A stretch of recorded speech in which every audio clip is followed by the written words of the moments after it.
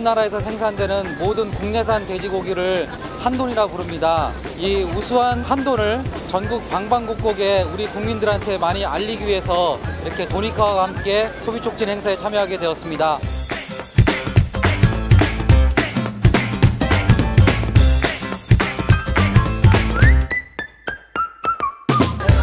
애들이 항상 돼지고기를 많이 먹는데 오늘 와서 먹어보니까 냄새도 안 나고 너무 맛있고 신선한 것 같아요. 앞으로도 많이 이용할 것 같아요. 한돈이 역시 맛있네요.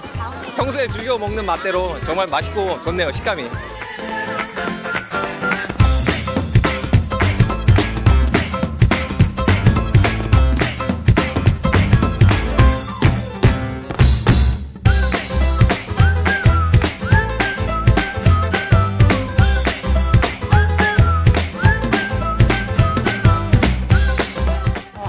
약간 한돈으로 만든 거라서 그런지 확실히 조금 연하면서 육질이 조금 풍부한 것 같아서 그리고 사실 좀 믿을 수 있어서 저는 좀 좋은 것 같아요.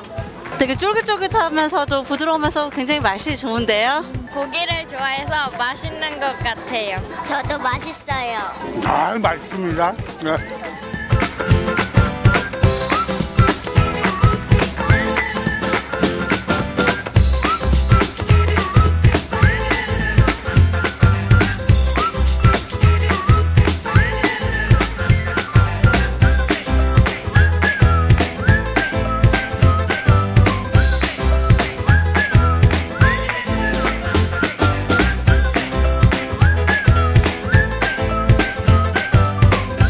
돼지고기 많이 이용해주세요. 역시 우리 돼지 한돈은 신선하고 맛있어요.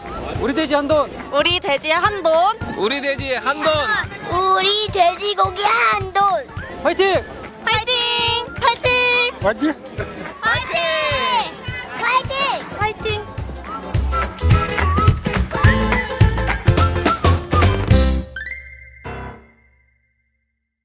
한돈 파이팅!